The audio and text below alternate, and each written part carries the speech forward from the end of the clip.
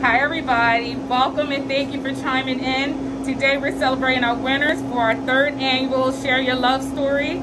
Today's winners are Christy and Doug. Congratulations! like many of you, you have shared your story. We thank you for taking the time to do so. We thank you for your transparency. Yes. We thank you for everything that you've done for following us. Uh, today we're just celebrating this uh, special couple uh, through their hardship, like many of you have had in your marriages.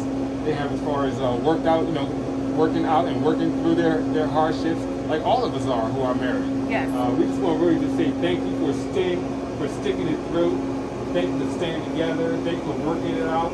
It's so easy to give up. And uh, we just encourage everyone to continue as far as in your marriage. Continue to work through the difficulties. And we just uh, celebrated marriage today. And uh, Christy, Doug, you're representing that. So thank, you. you. very much. Yes. Absolutely. Love conquers all. so the winners will uh, today will receive a strawberry shortcake heart-shaped cheesecake, a bottle of wine, and we also have, when I find it, our gift certificate to a local restaurant called the Sea Bar has amazing, amazing seafood. Enjoy. Thank you. That is for you. Thank you. That is for you.